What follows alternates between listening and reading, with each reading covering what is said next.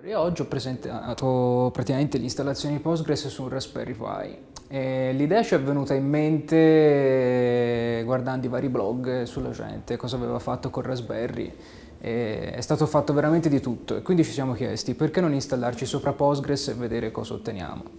Alla fine il risultato è un piccolo database server, aveva tutte le funzionalità di un, di un server vero e proprio, chiaramente tutto riscalato in piccola scala. Però eh, ci siamo divertiti, abbiamo visto che funziona e abbiamo presentato appunto stamani un po' di risultati e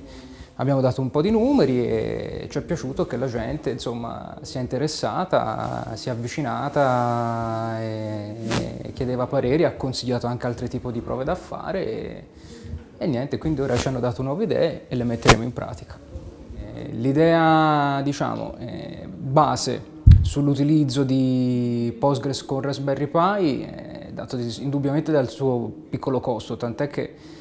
eh, come prima idea c'era venuta appunto di poterlo introdurre nel mondo delle scuole per poter eh, appunto studiare il funzionamento di un database non solo a livello teorico, non solo a livello di due o tre eh, istruzioni SQL, ma proprio a partire dall'SQL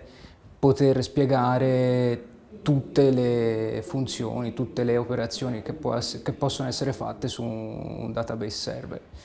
E quello che ci ha eh, stupito è il poter gestire un database su, anche su una memoria SD.